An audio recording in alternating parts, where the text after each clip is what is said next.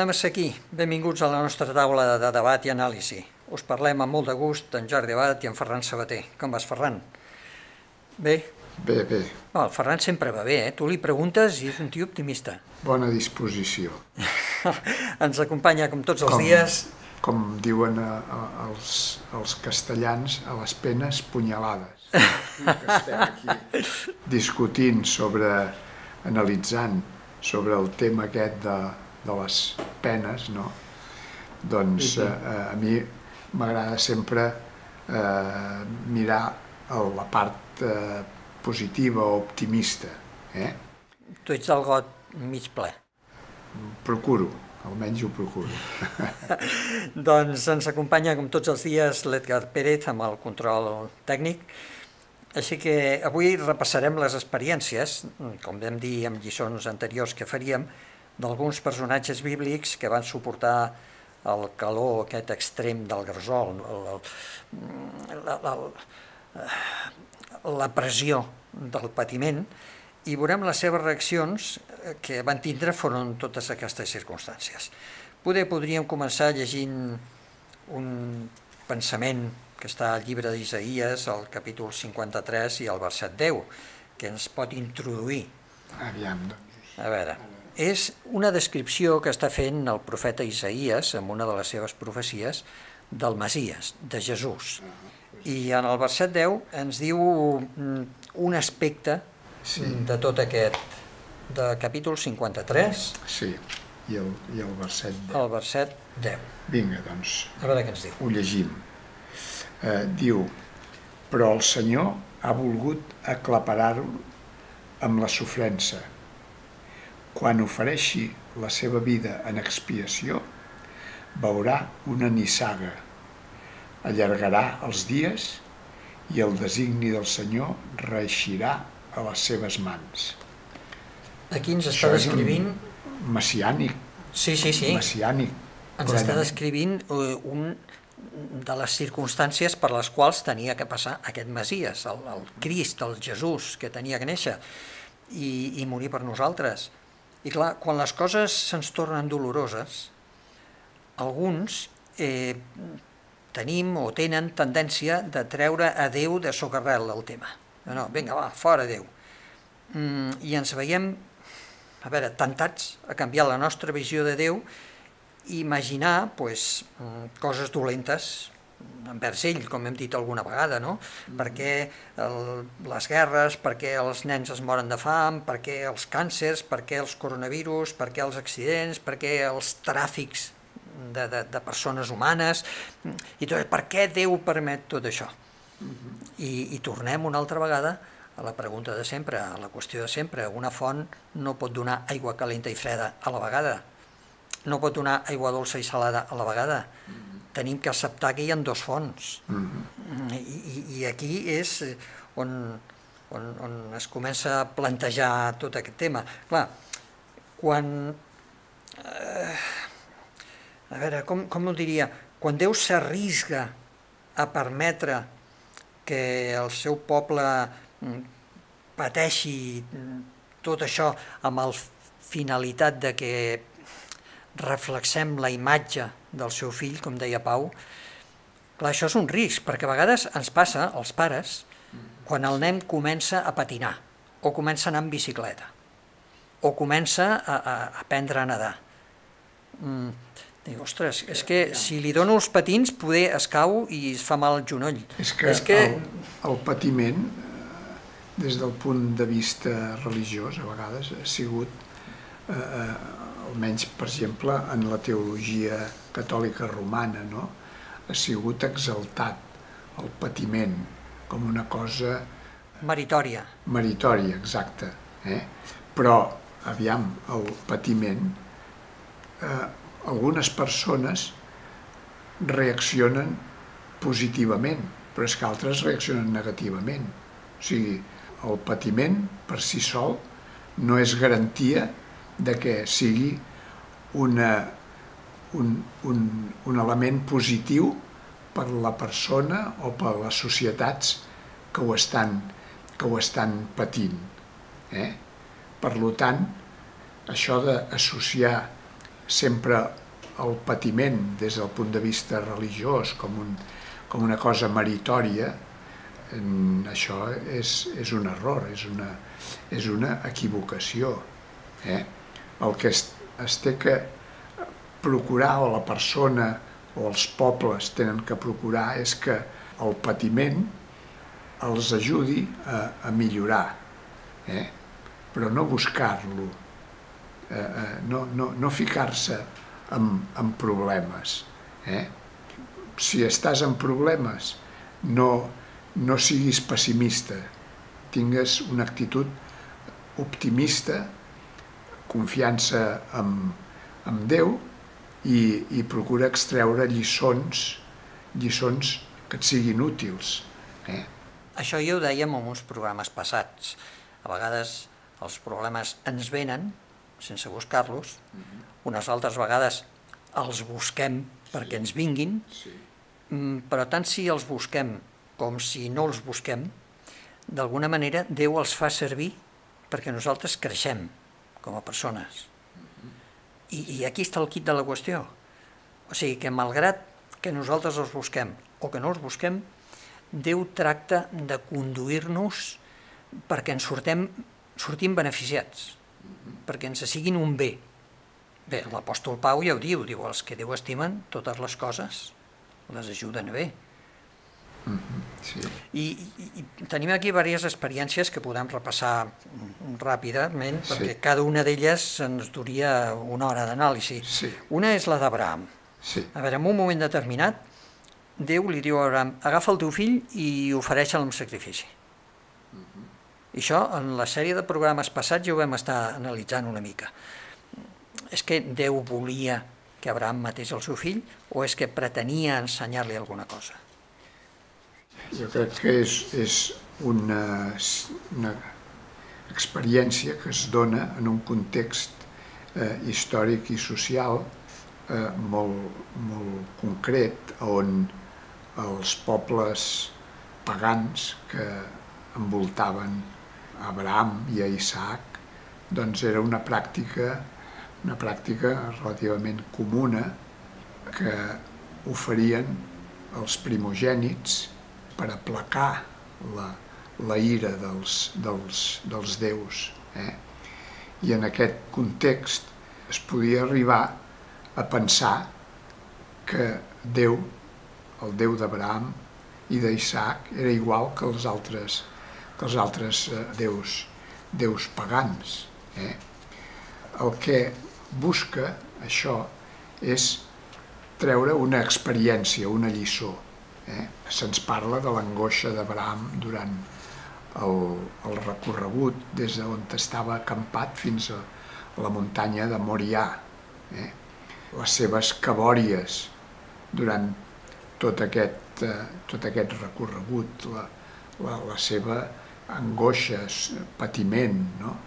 Però finalment, Joan, l'evangelista Joan, en el capítol 8 i el verset 56, doncs diu que Abraham, eh, amb aquesta experiència, va albirar el pla de Déu per a la salvació i es va alegrar. És a dir, aquesta experiència inicialment podria semblar eh, eh, negativa, traumàtica, dolorosa, desorientadora, angoniosa de pensar Déu vol, vol això? O sóc jo que, que potser ho he, ho he sentit, ho he escoltat malament? Déu és com els altres deïtats que, que de les poblacions que m'envolten, aleshores quin sentit eh, té de que jo segueixi amb aquest Déu? Perquè si és igual que els altres ja no feia falta. Però després d'aquesta aquest, experiència, Abraham va albirar, és a dir, va, va, va veure algunes, algunes imatges eh, del pla de Déu per la salvació de, de tota la raça eh, humana. I, I això el va alegrar, això li, li, li va... Eh, eh, Donar un confort. Exacte. Eh? O O sigui, va veure una recompensa en aquell patiment que, que ell havia, havia viscut, l'albirar com Déu, en un moment futur, a través del Messies, doncs faria la redenció de, de, la, raça, de la raça humana. Mentre estaves explicant això, estava, jo estic, t'estic escoltant i estic elaborant, tractant d'elaborar el que dius, i hi ha un aspecte de la qüestió que, eh, fixa't, no, no m'havia donat compte fins ara, i mira que fa temps que estudio aquest tema. Em, Déu sabia el final de tot aquest episodi des del principi. Sí. Llavors, si Déu sabia que Isaac no tenia que morir, per què va permetre tota aquesta angoixa d'Abraham i tot aquest, tot aquest episodi? Per fer-li entendre a Abraham que ell no era com els déus que hi havia al voltant. O sigui, tots els déus que hi havia al voltant requerien el sacrifici dels fills per, per poder no sé, fer créixer les collites, per poder donar prosperitat, etc. Però Déu, el Déu d'Abraham, no necessitava això. O sigui, diu, no, no, no, espera, si jo no vull que matis el teu fill. El que vull Com és donar-te... No, no vull també que el meu fill mori. Això mateix. Eh? Però... Ho, ho consenteix, però no, no ho provoca, ni ho busca, ni ho, ni ho fa. O sigui, Déu no, no participa amb això de la, la mort de, del seu fill Jesús. I aquí tornem una altra vegada a donar-li més voltes, o almenys torno jo a donar-li més voltes al tema, amb, amb la font de l'aigua freda l'aigua calenta. O sigui, no, no, no podem tindre sí, un mateix, eh, com es diu, un tubo per on surt l'aigua, una canonada, per una canonada no pot anar aigua freda i aigua calenta, perquè si les barregem ja ni és freda ni és calenta, és tèbia. Llavors, els conceptes de Déu se'ns desvirtuen. Inclòs, els conceptes del dimoni se'ns desvirtuen. I, I això ho tenim que tindre clar a l'examinar el tema del patiment. La, la Bíblia diu clarament que el qui és homicida és el diable. És, entre altres característiques, és homicida. I la seva eh, idea era de matar a Jesús a través de, de, de, de persones eh, imbuïdes, guiades, dirigides, impulsades per, pel diable. Eh? Poder el triomf d'Abraham va ser que en tot aquest procés ell coneixia a Déu, coneixia la seva veu i confiava en ell. Mm -hmm. Diu, jo sé que m'estàs demanant una cosa que no em quadra amb el coneixement que tinc de tu, però mm, algun tindràs que ensenyar, així que jo segueixo endavant. Mm -hmm. Poder aquest va ser l'èxit d'Abraham. Mm, la lliçó d'aquesta setmana ens planteja també el cas d'Oseas, que és un profeta de l'Antic Testament, en el que Déu li va demanar mm, unes coses una mica extravagants, sí. però clar, tenim en li compte... Diu, sí, vés i casa't amb aquesta senyora que és una prostituta que es dedica a la prostitució. Clar, fixa't, a vegades ens crida l'atenció les coses que fan els profetes, perquè si veiem, jo què sé, Jeremies, que es va, es va llitar d'un costat 40 dies i d'un altre 40 dies per demostrar-li al poble d'Israel. Nosaltres avui tenim la tele, tenim la imatge, tenim l'audiovisual, però en aquell temps no tenien imatges, no tenien teles, ràdios, revistes, internets, no, no tenien la imatge.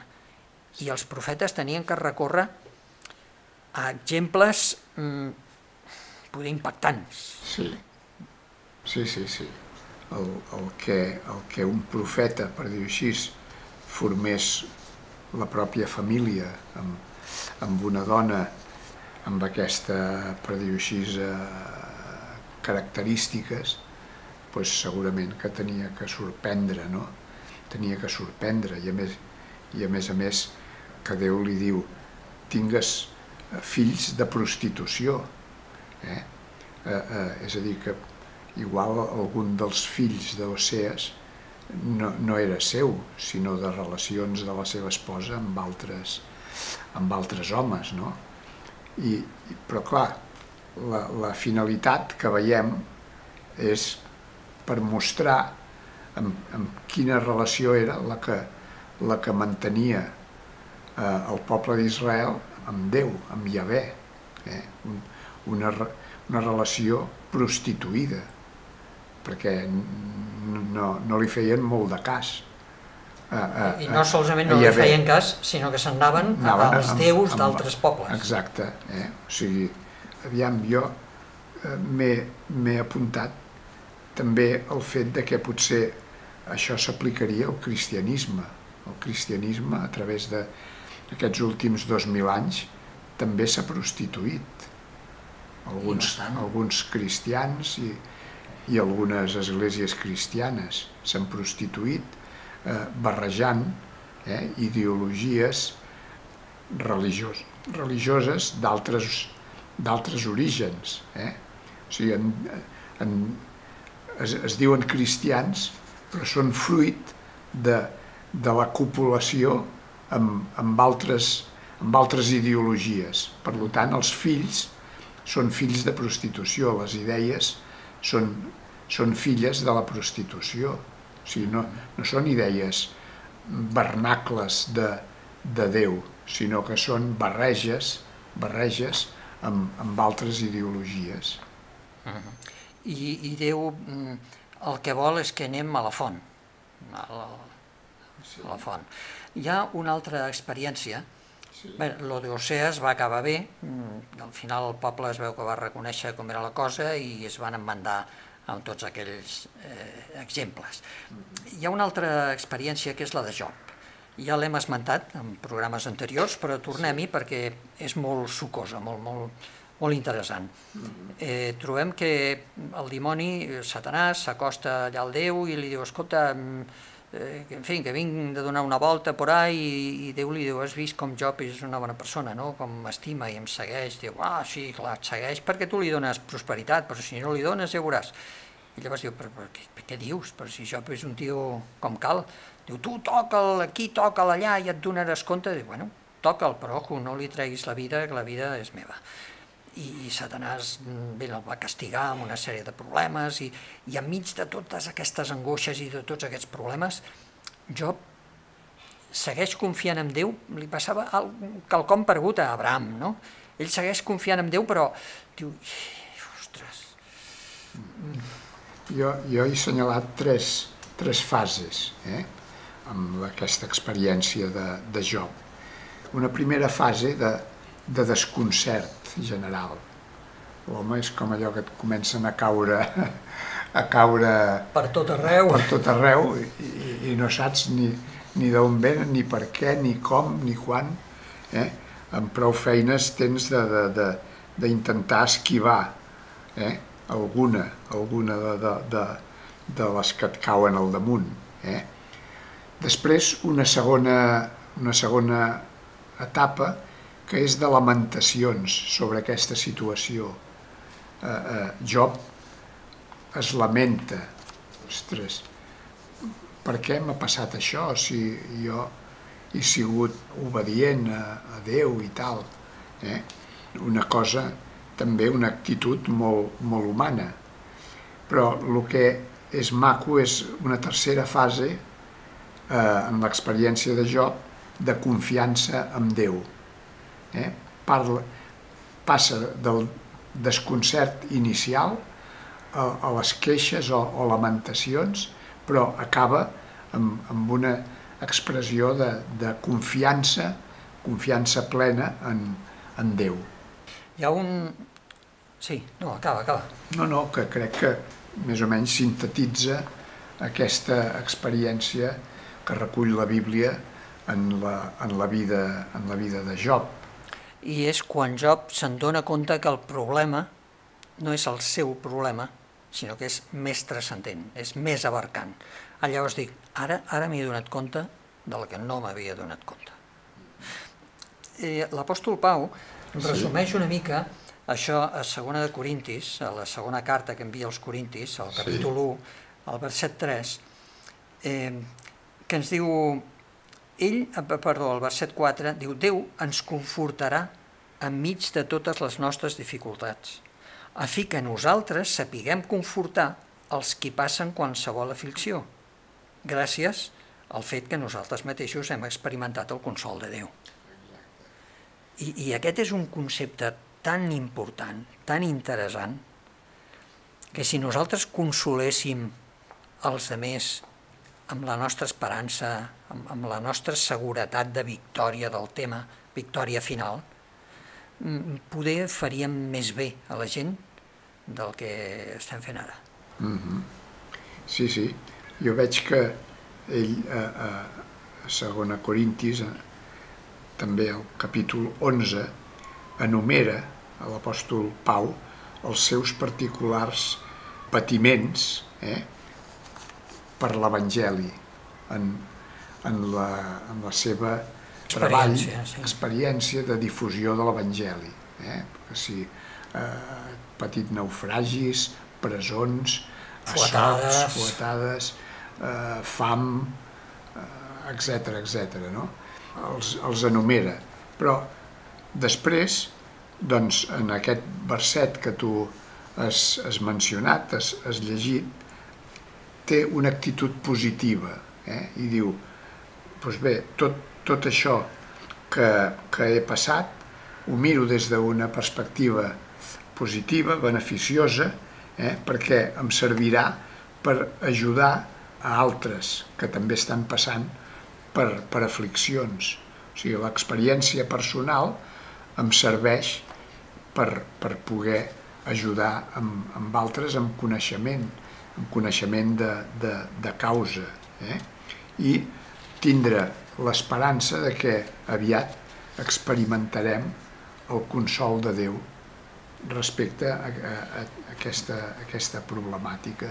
I hi ha que veure lo importants que són les paraules d'algú que ha passat per lo que tu has passat. Lo, lo lo benèfiques, lo beneficioses que resulten. Te n'enfies més, te n'enfies més. Sí, dir, mira, jo no et puc solucionar el problema, però sé el que estàs passant. Mm -hmm. Això et dona com un consol. Sí, sí. El, el, home, a vegades donar consells sobre eh, coses que no has patit, doncs, eh, està bé, però fins a cert punt la persona que ho està patint doncs pot pensar, molt bé, tu el que dius està molt bé, és molt, molt maco, eh? però tu no saps el que jo estic, eh, estic patint. Eh? I, i, I això eh, és el que, jo, el que jo sento, el que jo noto. El que tu dius, bueno, vés a saber, no? Però jo estic patint ara. Si és una persona que ha passat per una experiència similar, aleshores ja, ja, ja canvia. Eh? Sí, perquè a més li pots donar la teva solució. Sí, algun, algun consell, alguna... Clar, diu, mira, jo he sortit d'aquesta experiència d'aquesta manera. Diu, home, doncs això és una solució. Mm -hmm. Que poder no sigui la més adient per aquella persona, però és una solució. Mm -hmm. I, I, clar, compartir l'experiència, doncs, doncs és interessant. En fi, eh, el, que, el que tenim que fer és mm, tractar d'aprendre de totes aquestes experiències, uh mhm. -huh.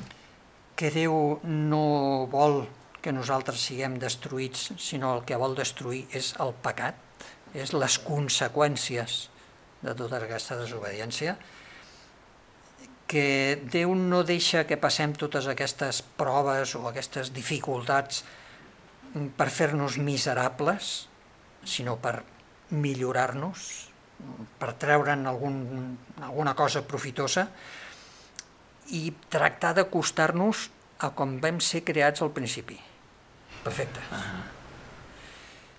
Bueno, el cuidar, la, la cura de Déu per nosaltres, enmig de totes les coses, tenim que tindre la certesa de que és constant i té una certa tendresa i mai ens deixarà sols sempre estarà amb nosaltres malgrat el que passi. I qualsevol de les experiències que nosaltres llegim a la Bíblia o que puguem treure de, de tot això, traiem això, com dius tu, el cantó positiu, al final. Mirem al final i ja veurem com al final val la pena. Doncs esperem que totes aquestes reflexions eh, us hagin ajudat, aquells que ens esteu escoltant, a ampliar la vostra visió vers el tema del patiment. Ja us diem que no tenim totes les respostes. bueno, no tenim les respostes.